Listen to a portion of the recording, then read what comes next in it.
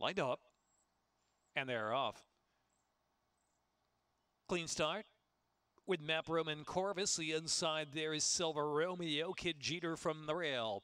So it's going to be Corvus and Kid Jeter matching strides early. Just in between them is Silver Romeo taking back a bit, and Map Room, Noble Addiction on the outside. Then followed by Shinobi, who's seven lengths on the early pace. Enjoy the show is alongside of that in the two path around the turn.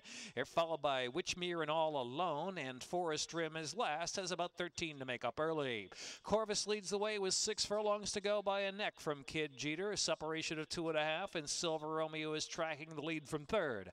Noble Addiction is in fourth, and Map Room well in hand, racing in the fifth spot, and Enjoy the Show is outside of Room. And then it's Shinobi and Witchmere side by side, all alone, and Forest Rim in the back. Ten lengths will cover them. It's been an easy pace up front for Corvus, who leads Kid Jeter by three quarters of a length, with Silver Romeo continuing third.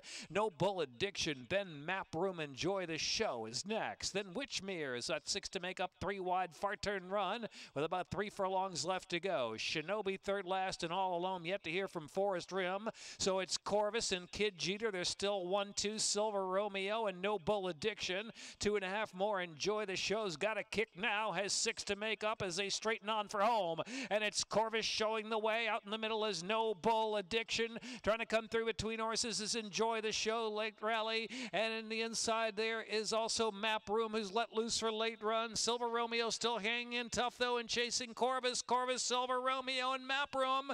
It's going to be Corvus, Silver Romeo, Map Room, then all alone. Followed by Shinobi or Enjoy the Show.